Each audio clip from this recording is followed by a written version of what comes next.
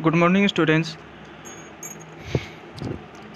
We are today we are discuss about studying the Earth. Humans have always been curious uh, to find new places and people. They always wanted to know more and more about the Earth. So they traveled far across the sea and ocean to discover new lands and people. But there were limitations to knowledge and resources at hand. Many of the brave voyagers never returned as they did not have accurate route map. Later on more defi- uh, defined route maps were designed that made travel and explorations simpler for everyone. Humans हमेशा ये जानने के लिए उत्सुक रखता है कि humans हमेशा नया प्लेस और नए पीपल के बारे में जानने के लिए उत्सुक रहता है।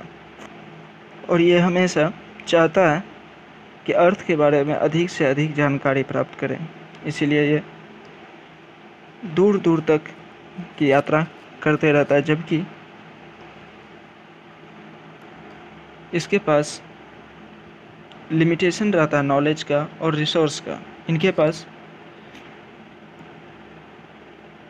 कई तरह का प्रॉब्लम रहने के बावजूद ये लोग कुछ तो रिटर्न हो जाते हैं और कुछ अपनी यात्रा पूरी करते हैं, जबकि उनके पास एक्यूरेट रूट भी नहीं रहता है। रूट एक्यूरेट रूट मैप्स भी नहीं रहता है।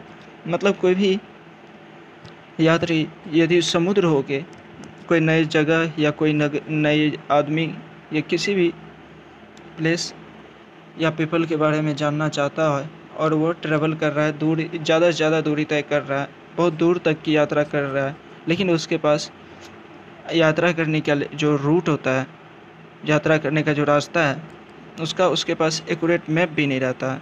तो इस कंडीशन में बहुत सारे व्यक्ति या तो अपनी यात्रा पूरी करते हैं, या तो रिटर्न हो जाते हैं।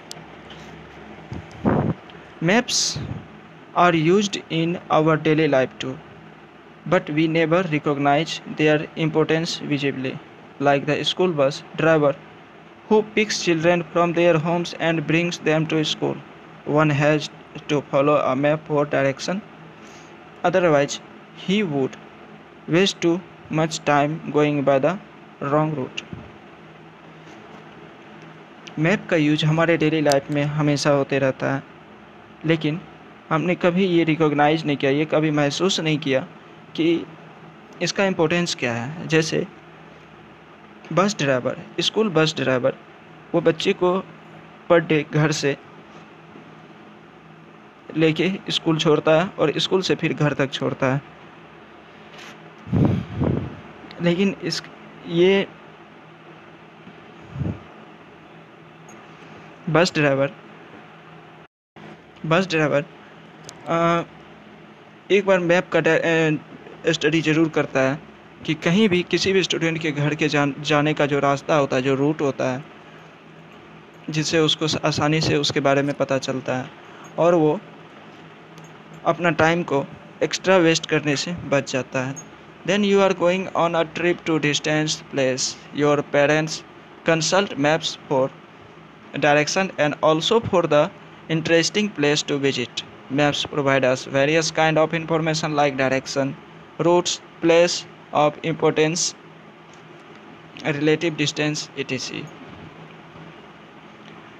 जब हम जब जब हम कहीं कोई ट्रिप पे जाते हैं तो हमारे पेरेंट्स मैप के बारे में बताते हैं और मैप के बारे में बताने का मतलब ये है कि वो हम कोई अनजान जगह जाते हैं तो हमारे पेरेंट्स हमें ये बताते हैं कि कैसे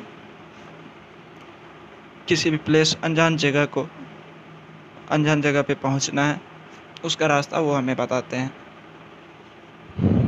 तो maps provide us various kinds of information map जो होता है, कई तरह का इंफॉर्मेशन हमें बताता है, जैसे डायरेक्शन हो गया रूट हो गया, या किसी importance place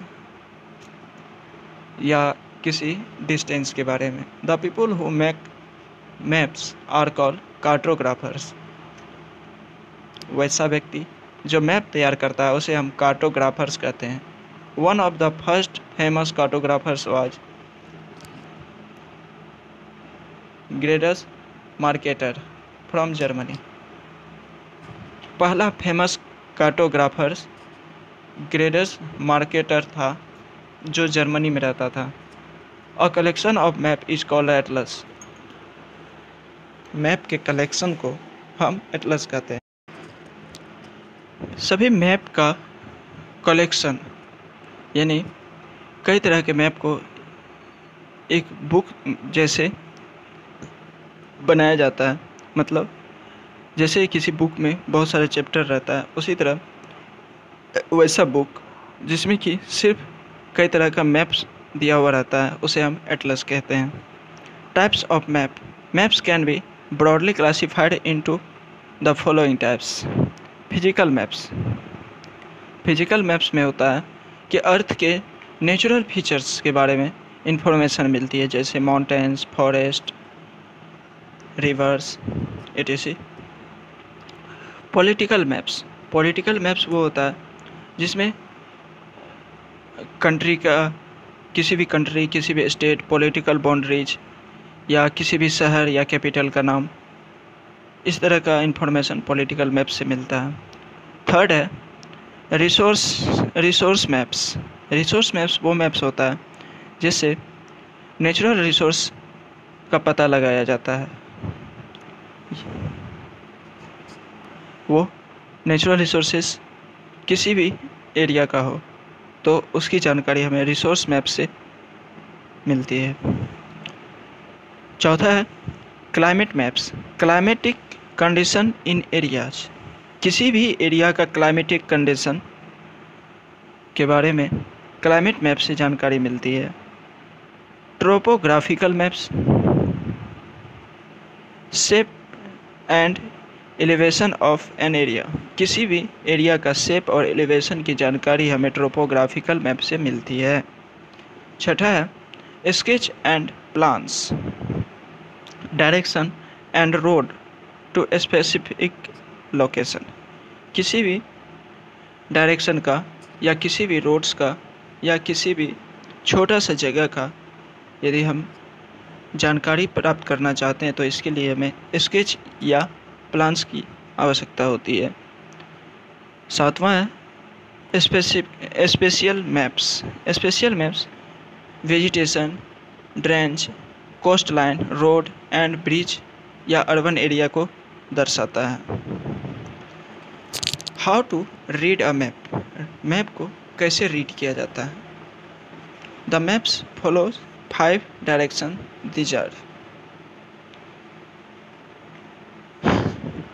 uh, description description.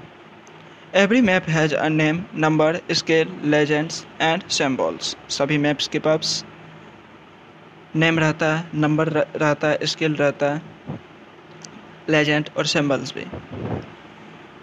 Second है details the symbols used in the maps in is the language of the map They explain the layout of the land. All its specific features are represented represented by various symbols. Symbols जो map पे रहता है, वो map का language होता है, जिससे कि कई तरह के स्पेसिफिक फीचर्स के बारे में जानकारी मिलती है सिम्बल्स द्वारा, और सिम्बल्स अलग अलग फीचर्स को रिप्रेजेंट करता है तीसरा है direction All maps show relative direction from one point to another. Maps always show north first so that other direction could be identified easily if not already mentioned. Mention direction किसी भी distance को दर्शाता है जैसे maps का top area जो होता है, सबसे ऊपर वाला भाग जो होता है मैप का, वो हमेशा नॉर्थ की ओर इंडिकेट करता है। इससे अदर डायरेक्शन को आइडेंटिफाइड करना आसानी हो जाता है। जैसे हम नॉर्थ नॉर्थ हम बोट ये अपर भाग को नॉर्थ मानते हैं तो बॉटम को हम साउथ मानेंगे और अपने राइट डायरेक्शन को हम वेस्ट अपने राइट डायरेक्शन को हम ईस्ट मानेंगे और लेफ़्ट को वेस्ट मानेंगे। If you know the north direction it is easier to deduce the other direction like south it would always be opposite of the north on the right hand side would be the east and on the left would lie the west if you know the four directions you would be able to deduce the sub directions easily और यदि हम four directions के बारे में जानकारी प्राप्त कर लेते हैं तो फोर सब डायरेक्शन को पता करना आसान हो जाता है। The areas between north and east is called the north east north direction और ईस्ट डायरेक्शन के बीच का एरिया को हम नॉर्थ ईस्ट कहते हैं। The area between north and west is called the north west और वैसा एरिया जो नॉर्थ और वेस्ट के बीच में हो उसे हम नॉर्थ वेस्ट कहेंगे। The area between south and west is called the south west और जो एरिया साउथ और वेस्ट डायरेक्शन के बीच में हो, उसे हम साउथ वेस्ट कहते हैं। और इसी तरह the area between south and east is called the south east और साउथ और ईस्ट के बीच का भाग को हम साउथ ईस्ट कहते हैं। By only knowing the north direction you can deduce the other seven direction so easily यदि हम नॉर्थ डायरेक्शन का पता कर पाते हैं मैप पे तो ये बाकी सेवन डायरेक्शन को पता करना बहुत ही आसान हो जाता है।